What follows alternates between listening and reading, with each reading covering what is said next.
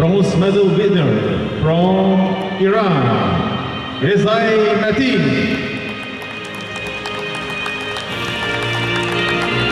And bronze medal winner from Uzbekistan, Ulugbek Rashitov.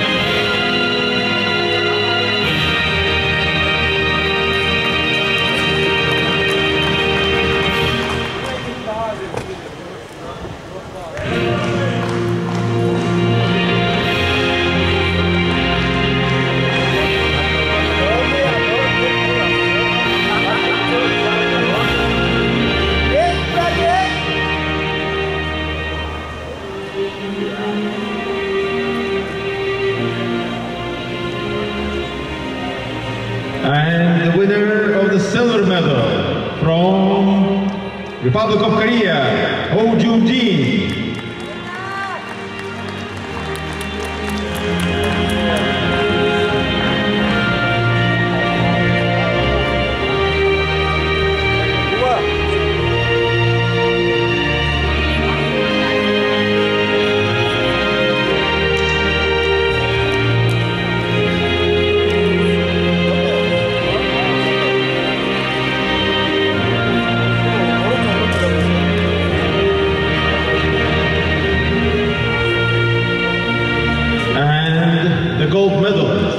And 2023 world champion from the Great Britain, Bradly Sinden.